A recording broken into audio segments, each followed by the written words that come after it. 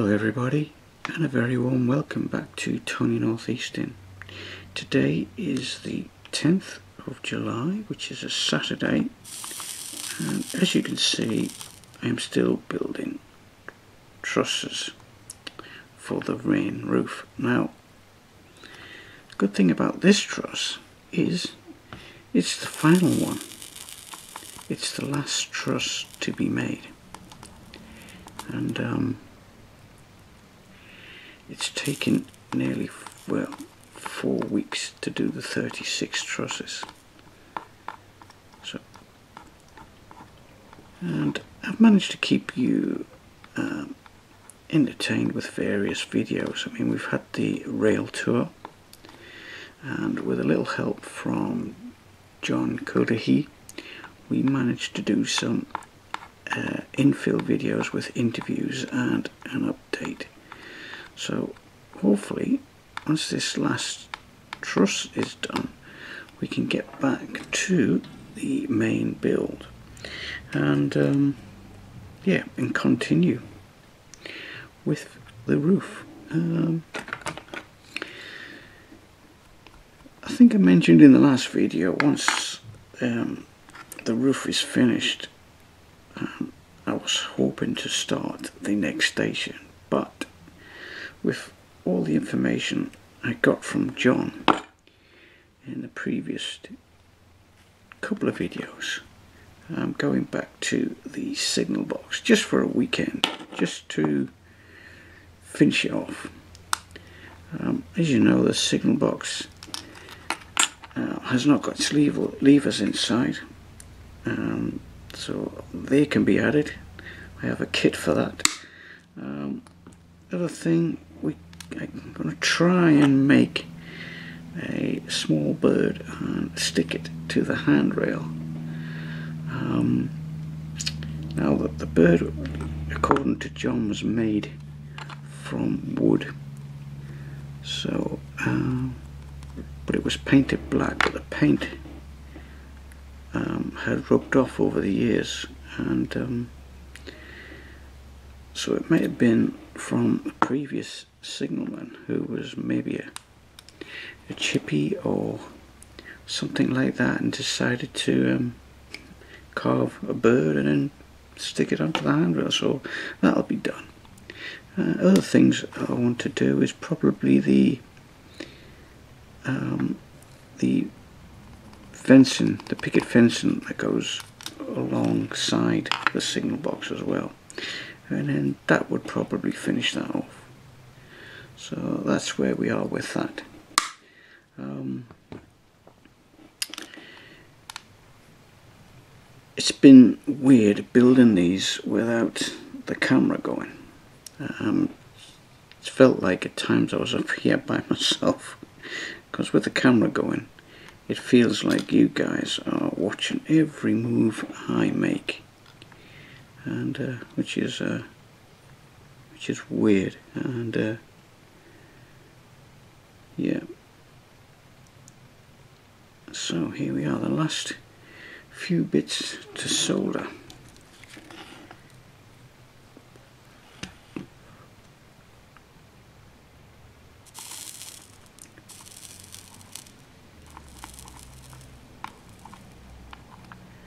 And all we have to do with these is just clean them up.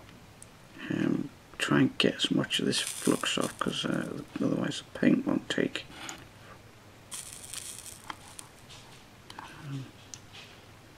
right I think that's ready to come out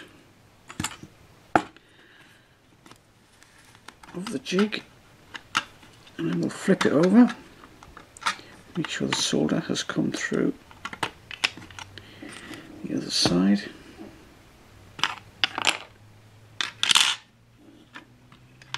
Yeah, I'm sorry you're watching this upside down, but uh, it's the only way for me to see that I've make sure I've got all the joints just adding a bit of flux in a few places where solder is needed. Yeah, that's good, that's good, and maybe a little bit there. So all I'm doing now, as you've seen before, I'm just touching up where the solder is needed. Just add strength to the frames because uh, I know they're not going to take a lot of weight. They're only going to take card and maybe a little bit of plastic strip. I'm not sure on the design yet.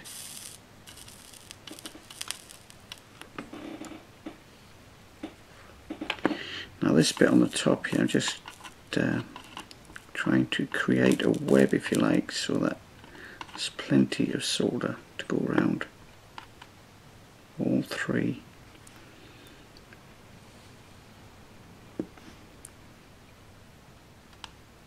supports.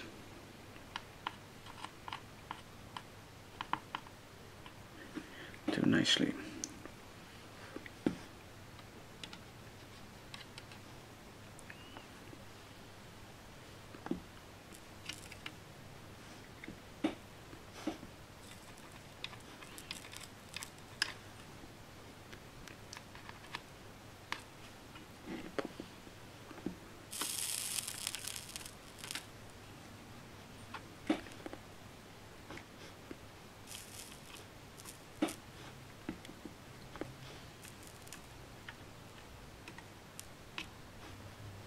Right, that's done. The last one. Someone had a comment saying that uh, these look like uh, coat hangers. Well, um, I guess they do, but uh, but um, I think they wouldn't have been uh, small enough to use. But uh, they do look like coat hangers. Here we have a assembly plan on how I'm going to put these trusses together. So with this piece of wood that we've got underneath, which had the uh, assembly for the trusses on one side, on the flip side I'm going to make this jig up. So basically I'm going to screw a bit of wood across on one, one side and that will become the stop. And then a series of pieces of wood right angles to the stop. And then it's going to act like a toasted rack. So all you have to do is just drop the trusses in. And then push the trusses up against there that stop. And hopefully all these top ridge angles will be perfectly in line.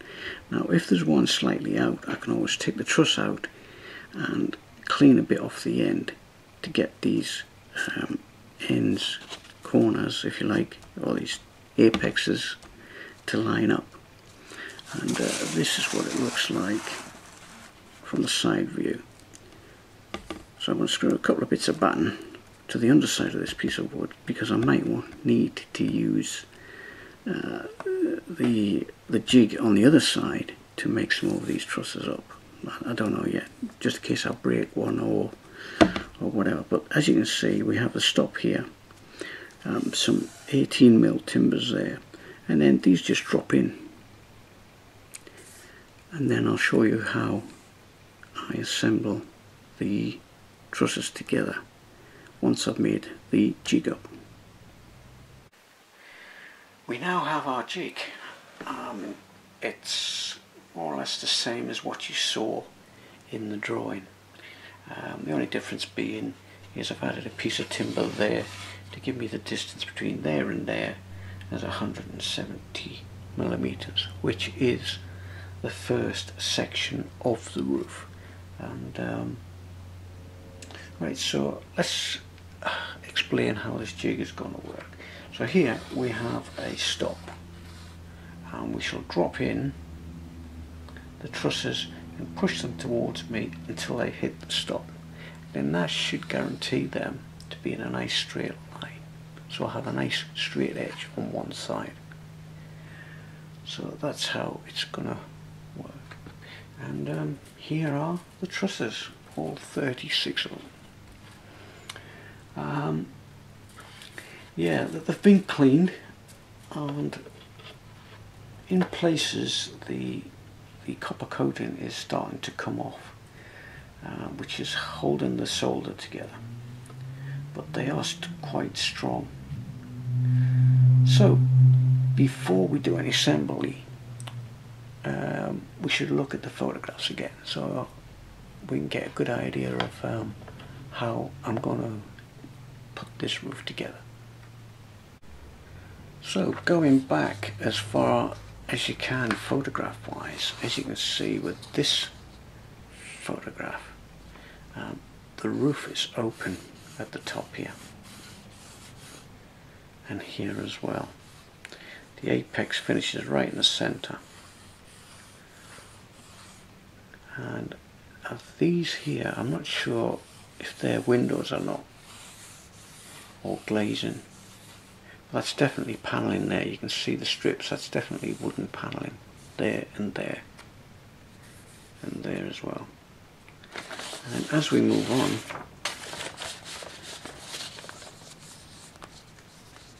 it's fully open here. And it's closed there but you can still see glazing in there just in there. And here's one of the later ones where they've opened the roof right up on the apex and down the sides here and here. So I've got a varied choice of how I'm going to do this. And here's another one. Same again. Open there.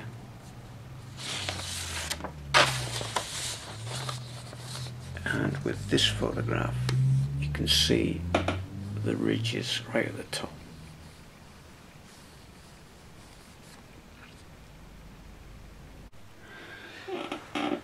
So although I used a jig to assemble these, so I'm just checking to make sure I've got 197 for each one.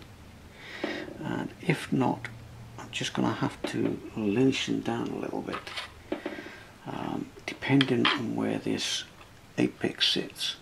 So on this one, looks like I'm going to have to take a little bit off this corner here. So that'll be the first one.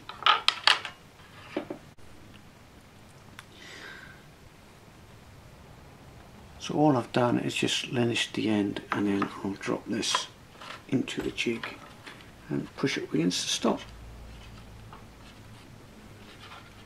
And then eventually I'll have all nine ready to go. We have now filled up the rack as it were with um, trusses.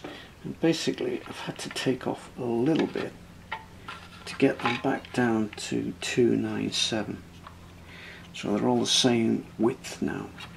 So the next thing I want to do is just check the heights of the apexes make sure that they're all the same um, and they're not too bad this one's a little bit high, this one here. So what I'm going to have to do is take that one out of the rack and just linish a little bit off here and here, not a lot, just to drop them down. Um, what I'm using is a sanding disc in a Makita drill and just taking off a little bit at a time.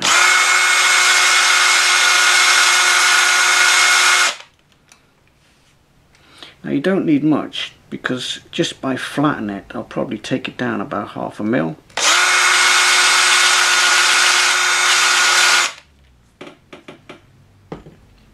So I'll just put a little bit of a flat on there so hopefully that might be enough to bring them in line. Make sure it's up against the stop. And then we'll put the rule back on. And that's almost there. It's just a slight rock in there now. Not a lot. You're talking half a millimetre.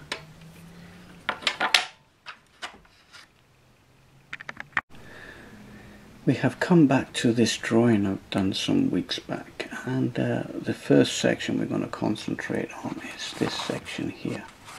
It measures roughly 265 millimeters from what was at the time the wall so this might change so we're going to have a look at the new measurements.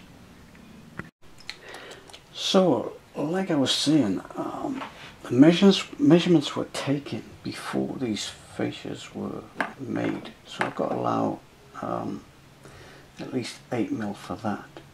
Plus I've got to allow for the first rafter which sits about there which is roughly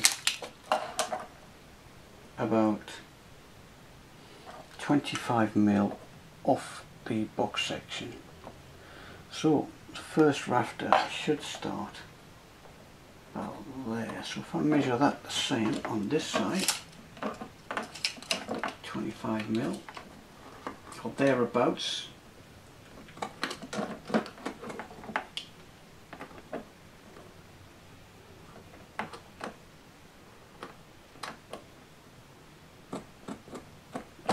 measured that uh, off the box section.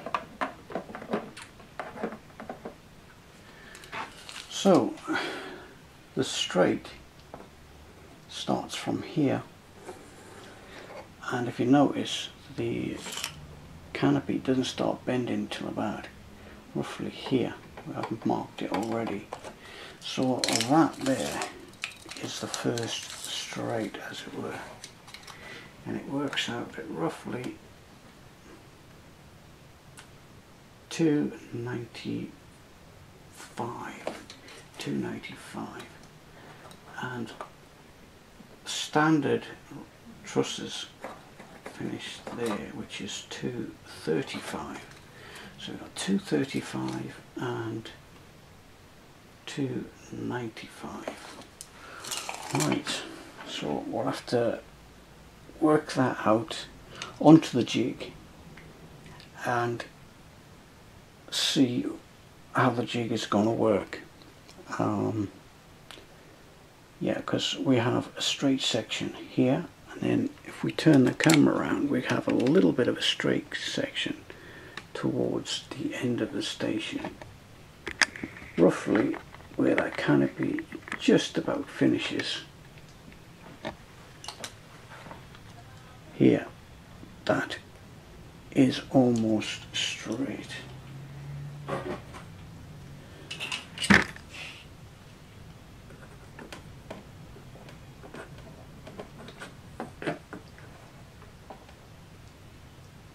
Yeah. So there. So that's straight there up to about this point here. 230. Right. So, I'm gonna have to rework the drawing.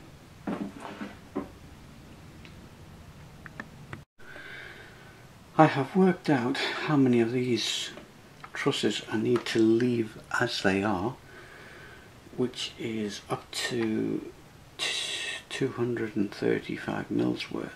But in order to make this jig work once these have been soldered together we have to lift them out move them along and then drop them back in again by another two trusses which will give us uh, another 60 mil which will just take us past the canopy that we've just seen. But before we do any of that I'm going to have to modify three of these trusses. So what I'm going to have to do is chop off four millimeters off of here. And as you can see I've bent a little bit of um, welding rod and I'm just going to solder that in there. Obviously I'll cut this bit smaller and then solder that in there because I can see what's going to happen. The minute I cut through there it's going to go Pete Tong so I'm going to have to, have to modify three of these before I can start building the roof. I have now come to a decision on the roof on the type of roof I'd like to make and it's this one because once the roof is on you'll be able to see through these areas and actually see the trains running in and out. But I will probably glaze these areas like they were in the 60s in this photograph here.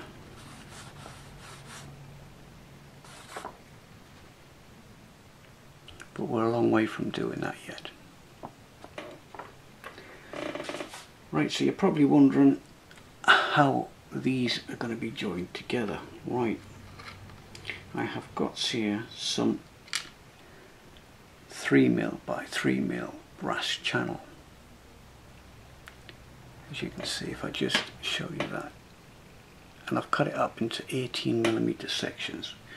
And what will happen is when I start making the roof into sections I'll just press that into there and solder it in. And then the next section will come into the other side and hey presto we've got our joint. But uh, that's going to be a long way off too. So there we are. That's uh, roughly two and a half mil or two and a half mil um, brass channel. I think you can still get that from Squires. I think that's where I got that from originally. So that's where we are at the moment. I've got to modify three of these for the first section. Then I've got to work out how many I need of these for the rest of the uh, the offset on the canopy back on the station so it means I've got a slight modification. Uh, I knew this was going to happen and uh, I think I've planned for it as well. So as you can see right in that corner there I've tacked a piece of wire. And then what I'll do is I'll solder that wire on both sides and then I will chop off the 3 mil to allow for the canopy. Just like the one I've done here already. As you can see if I put them both side by side you can see how much I've chopped off. And hopefully once it's all assembled well, the step will be very very slight. And the copper wire in there will stop this from going Pete Tong right with those ends now trimmed um, this is all set and ready for the assembly which we shall start next week so uh, we've done quite well this week, getting the jig done, that took most of the weekend up. And uh, we shall leave it there. Thanks for watching now, and we'll catch you again. Bye for now.